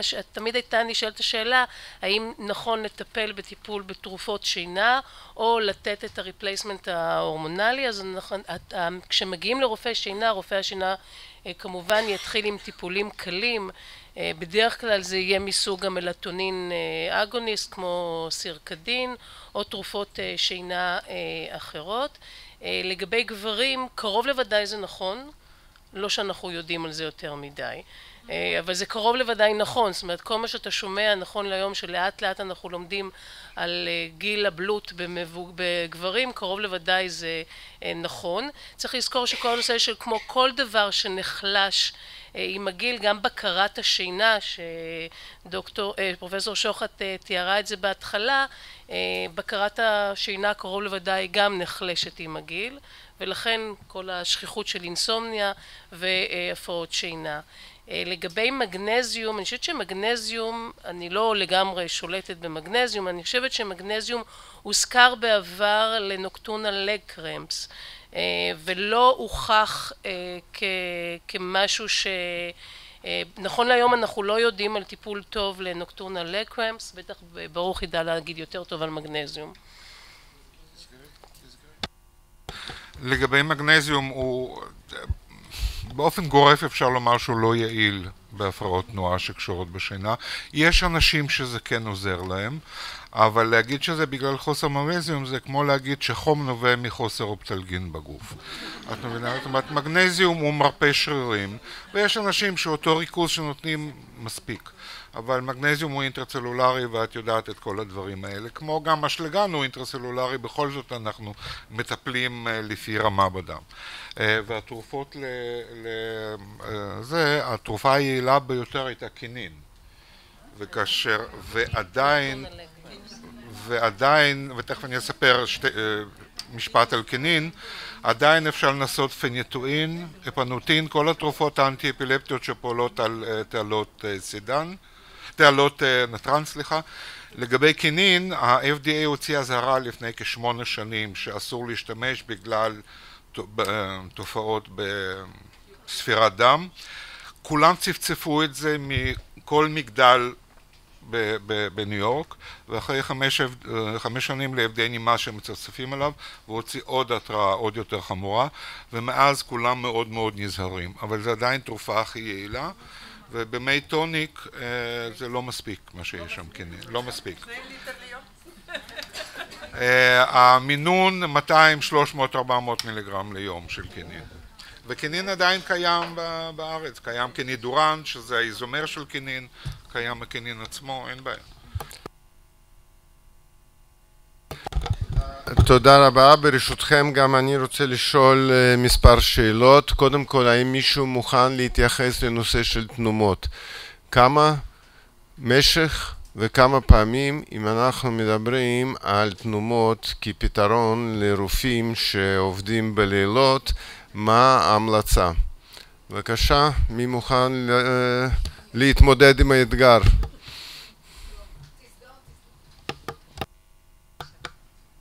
אוקיי.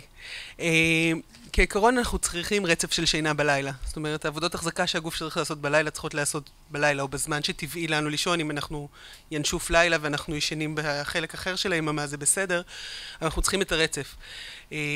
ברגע שישנים פחות יש צורך להתגבר על החסר הזה עם תנומת יום וזה מצב שהוא פר הגדרה לא בריא.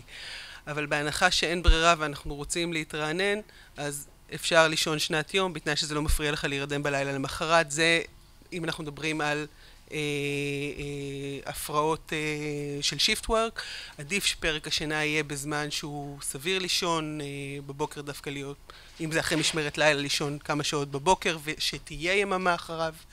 אם אנחנו מדברים על נדודי שינה, אנחנו לא רוצים שנת יום, אנחנו רוצים את התהליך ההומואוסטטי ולהיות ערים כמה שיותר ולכל היותר חצי שעה בצהריים גג מעל הראש גם.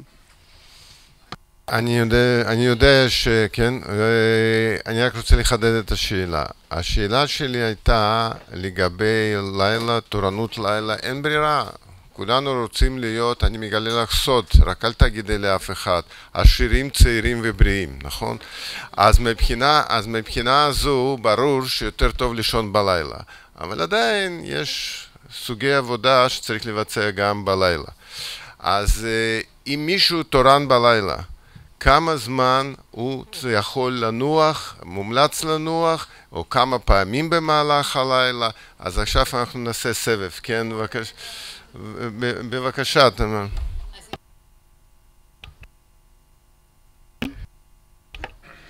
אם אתה מדבר על עבודת משמרות, אז יש שפל מוכר ברמת הערנות במהלך הלילה, שזה ארבע לפנות בוקר. עשינו פעם סקר אצל אחיות ושאלנו אותם, אם היית יכולה לישון במהלך המשמרת, באיזה שעה היית רוצה? כולם ענו בין שלוש לארבע לפנות בוקר, זה כמובן יש הבדלים אינדיבידואליים. התנומה באמת מספיק שהיא תהיה קצרה. חצי שעה, יש מה שנקרא power naps. יש מקומות עבודה במזרח, נדמה לי ביפן או משהו כזה, שממש יש את הדבר הזה, אפילו גם בעבודות ביום, דרך אגב, בהייטק, בגוגל, בכל מיני מקומות כאלה, שיש חדרי שינה, אפשר ללכת לישון, וחצי שעה במהלך היום זה מספיק בשביל להרים את הערנות למעלה. אמ, אבל יש לי גם תשובה לגבי האוכלוסייה הקשישה, אם אפשר. אה, אנשים קשישים, אנחנו שמענו על זה, הם מתעוררים הרבה פעמים מוקדם יותר בבוקר מרובנו. יש להם שעון קצר יותר, יש כל מיני עבודות על הדבר הזה, והרבה פעמים הם לא מסוגלים לשמור על רצף שינה עד נניח שש או שבע בבוקר, הם קמים בארבע, ואז בצהריים הם מרגישים צורך מאוד uh, חזק uh, uh, לישון. Uh, גם לפעמים הם סובלים מנדודי שינה, אבל ההמלצה צריכה להיות שאם הם זקוקים למנוחת צהריים, לעשות את זה כמה שיותר מוקדם, זאת אומרת לא בארבע, חמש אחר הצהריים, אלא באחת, נניח מיד אחרי ארוחת הצהריים, והסיבה היא שאם הם ישנו בארבע, חמש אחר הצהריים, הם לא יצברו מספיק חוב של שינה בשביל להירדם כמו שצריך בלילה, ואז הם מקבעים את הבעיה. אה, זה נכון לכל הגילאים, אגב גם מתבגרים הרבה פעמים בגלל שהם הולכים לישון נורא מאוחר, צריכים לקום מוקדם לבית ספר, הם מגיעים הביתה גמורים לחלוטין בצהריים, ישנים שעתיים, ואז זה פוגע ביכולת שלהם להירדם אה, שוב למחרת. אז זה באמת, עם התנומות צריך מאוד לתזמן אותם כמה שיותר מוקדם ביום, ותנומה קצרה, צריך להסביר שהיא מספיקה, לא צריך לישון שעתיים. לא צריך להיכנס לפיג'מות ולמיטה. אמ, אני חושבת שהשאלה שלך היא לא פשוטה, ואני חושבת שאתה תקבל המון דעות. לא, זה, אתה תקבל הרבה דעות, ואם צריך יהיה לקבל תשובה, תצטרך להתקיים דיון בינינו בשביל לתת את התשובה. בגדול, לעובדי משמרות, הפתרון, למי שיש shift work disorder, הפתרון הוא כשהם צריכים לישון בשעות שהם צריכים לישון, לעזור עם כדורי שינה, וכשהם צריכים להיות ערים בשעות שהם צריכים להיות ערים לעזור עם טיפול בסטימולנטים כמו נוביג'יל אה, ותרופות מעוררות אחרות. זאת אומרת זה מה שעושים בעובדי משמרות מטפלים תרופתית בשביל להשאיר אותם ערים ותפקודיים. אבל זה, זה יהיו כאן שמונה דעות אני חושב ששנינו היינו מעורבים במשפט של המתמחים לפני כמה שנים על קיצור שעות ההתמחות. צריך להבדיל בין עובדי משמרות רגילים שעובדים שמונה שעות והולכים הביתה לבין מתמחים שעובדים שמונה שעות ומתחילים לעבוד עוד שמונה שעות ועוד שמונה שעות. זה לא בדיוק עובדי משמרות רגילים. שני, מה? 26 שעות. כן, סליחה, סליחה, סליחה, סליחה. עכשיו, זה שזה זה, זה שזה מפיג ישנוניות, ה power naps האלה של חצי שעה, שעה, אין ספק. השאלה אם זה מתבטא בתוצאות, ואיזה תוצאות אתה מודד. האם אתה בודק את הטעויות של המתמחים, האם אתה בודק את יעילות העברת המשמרות. אני שואל מה ההמלצה שלך. זה כל מה שאני שואל, בבקשה, שעה בלילה. שעה בלילה. אני מסכימה עם ברוך לחלוטין, אני אוסיף רק שני דברים. אה, יש שני חלונות לשינה אצל האדם הבריא הרגיל, אחד זה בלילה והשני זה בצהריים, שהוא חלון או שער שינה יותר קטן אבל קיים. אז, וזה נכון שיש במקומות עבודה וזה הרבה פעמים מומלץ, נפ של עשרים דקות יכול להמשיך את היום. עכשיו, ברוך לקח לי את הרוב כמובן, אבל uh, יש הבדל בין עבודות משמרות. עבודות משמרות יש להם לא של מתמחים, כי זה לא עבודת משמרות, זה עבודה רציפה של 26 עד 30. עבודת משמרות יש לה המלצה שלא לעשות את המשמרות אקראיות, אלא בסדר מסוים. נניח ארבע משמרות של, אה, ובסדר בכיווניות, ארבע משמרות של יום, ארבע משמרות של ערב, ארבע משמרות של לילה. ולא היום ככה ומחר ככה. הדבר השלישי שאני רוצה להגיד, אה, זה שדווקא לאנשים עם אינסומניה, אני, וזה מגובה במאמרים, הייתי נותנת מעוררים בבוקר. זאת אומרת, אם זה קופאין ש... ומנות קופאין, או אם זה משהו מעורר, כדי שאני אוכל להחזיק עומס שינה לקראת הלילה. אז...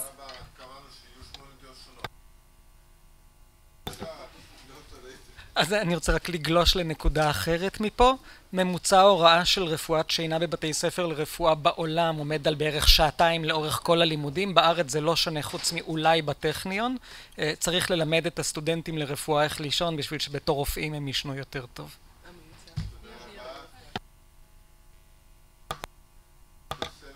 טוב, אני הכי קרובה פה בגיל לתקופת ההתמחות. אני חושבת שההמלצה של שעה היא קצת בעייתית, כי זה תלוי באיזה שלב של התורנות נעשית השעה הזאת. בתור רופאת ילדים באמצע התורנות בפגייה בשתיים בלילה, אם יגידו לי עכשיו זה השעה שלך לישון, לא בהכרח הייתי מצליחה להירדם. אז צריכה להיות איזושהי חלוקה שהגיונית בהתאם למה ההתמחות שלך ומתי אתה מקבל לישון.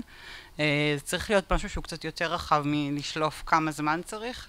אין ספק שצריך זמן לשינה. היעילות שלך בארבע בבוקר במיון היא לא אותה יעילות שלך בעשר, ובטח שלא בשבע וחצי לפני שנגמרת התורנות. אבל לא בטוחה ששעה זה מספיק.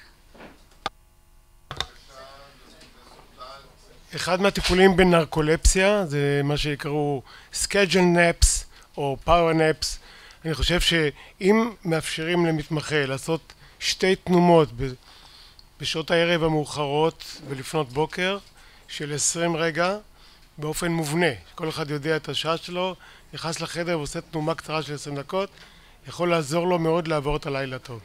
טוב, אנחנו חייבים להתקדם. אני קודם כל מנצל את זה כדי עוד פעם להעמיד אתגר. אתם צריכים לשבת ביניכם, בין עצמכם, ולנסח נייר עמדה.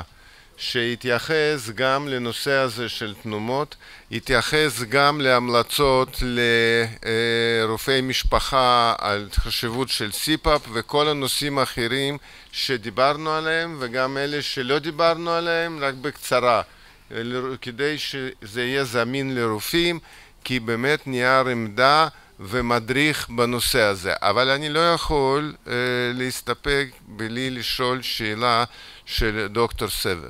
לגבי מתבגרים, אני דווקא שמעתי כל הסכנות ומה קורה עם המתבגרים, אני לא הבנתי, כנראה זו בעיה שלי, מה ההמלצה? מה מחר ההורים של המתבגרים צריכים לעשות עם שינה של המתבגרים? אז ההמלצה היא לנסות לשפר את ההיגיינת שינה של המתבגר, להיות יותר בשליטה על מאיזה שעה הוא הולך לישון, ואם אפשר היה לשנות את המערכתית, אולי את זמן התחלת בית ספר, זה גם היה יכול לעזור. אבל בעיקר לנסות לצמצם זמן מסכים לפני השינה, לנסות לצמצם פעילות גופנית, כל מיני נבחרות כדורגל שה... מה זה? כדי להאריך את משך השינה. סליחה? לנסות להאריך את משך השינה ביותר שליטה הורית על הסיטואציה. יכול להיות שמה שאנחנו כולנו צריכים לצאת מפה עם המלצה ופנייה באמת למשרד החינוך בגיל מסוים להתחיל לימודים בתשע, בעשר ולא, ולא לא לעשות מבחנים בשעה תשע אז... וגם לא בשעה שמונה יכול להיות שזה יכול להיות שזה, צריכים לצאת, לצאת לעבודה, אני יודע, אנחנו מדברים על מתבגרים שבדרך כלל יוצאים עד בית הספר, יכולים להגיע גם לבד. זה אחד, מה, זה אחד מהדברים שצריך לחשוב, וזה מה שאני אומר, תדונו על זה, וייתכן מאוד שזה אחד מהדברים הכי חשובים שאנחנו יכולים לעשות לחברה בישראל. בבקשה, פרופסור טל שנייה, פרופסור טל ואחרי זה... יש מדינות קרות, שבהן השעות של האור והחושך הם טיפה שונים, ולכן כן אימצו את זה בבית ספר, וגם המחקר הגדול שהצגתי של ג'ודית אוהן דיבר על לאחר בית ספר לשמונה וחצי, אפילו לא על תשע. אז זה כן דבר שמיושם בחלק מהמדינות, גם באירופה, לפעמים זה אפילו משתנה בין חורף לקיץ, שכל המערכת מתחילה טיפה יותר מאוחר בחורף, ישראל נמצאת באיזשהו קו גובה שיכול להיות שזה טיפה שונה, אבל זה משהו שמיושם במדינות בעולם. אז אני מבקש תשקלו את ההמלצות, פרופסור טל, בבקשה. אמרת משרד החינוך, אני חושב שהנושא הוא של חינוך. משך שנים, עכשיו הפסקתי, אבל ביישוב שאני גר בו, מיתר, היו, היה שבוע בריאות. והיינו כמה רופאים באים, אני פגשתי בתשע בבוקר כיתה ו' וסיפרתי להם למה חשוב לישון בשביל לקבל ציונים טובים וללמוד, בצהריים פגשתי את המורים ובערב פגשתי את ההורים. אני רוצה להגיד לך שבמעקב ארוך של, של משהו שמונה תשע שנים אותן כיתות ששם דיברנו ועשינו את הפעולה קלטו את זה והנושא הוא חינוך. חינוך של כולם של המורים של הילדים. אבוד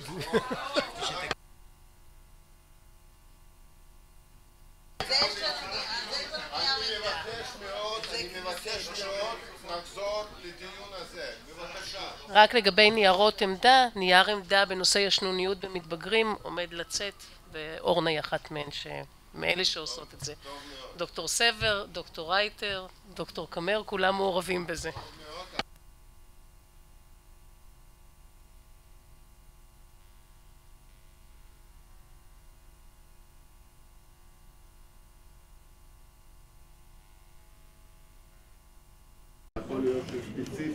לגבי מתבגרים, אז תחשבו על זה, תשבו, גם תלונות, אל תשכחו.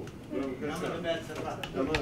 כן, לא, אני רק רציתי להוסיף שבשנות התשעים הייתה כאן בארץ כהנת שנת המתבגרים הגדולה מאוניברסיטת בראון בארצות הברית ובעקבות הביקור שלה והכנס שהיא השתתפה בו בטכניון ביטלו את שעות האפס כביכול במשרד החינוך. למה אני אומרת כביכול? משום שעם השנים משרד החינוך מצא כל מיני פטנטים איך להחזיר אותו בדלת האחורית ואם זה, זה שיעורי העשרה, אם זה שיעורים מיוחדים, כל מיני נסיבות מיוחדות או בכל מיני מועצות אזוריות שאולי הלימודים מתחילים בשמונה, שמונה וחצי אבל ההסעות מתחילות כבר בשש וחצי חצי שבע, ואז אה, אנחנו נמצאים באותה בעיה, וזו מלחמה שלא נגמרה.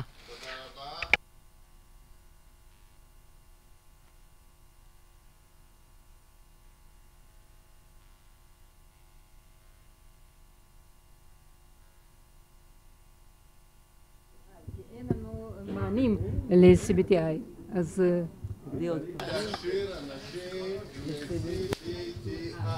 אז אנחנו עשינו קורס ראשון, בחיפה היה, פרופסור שוחט הייתה אחראית עליו, ובסמסטר ב' באוניברסיטת תל אביב נפתח קורס שני למטפלים בהפרעות, בטיפולים התנהגותיים בהפרעות נשימה, בהפרעות שינה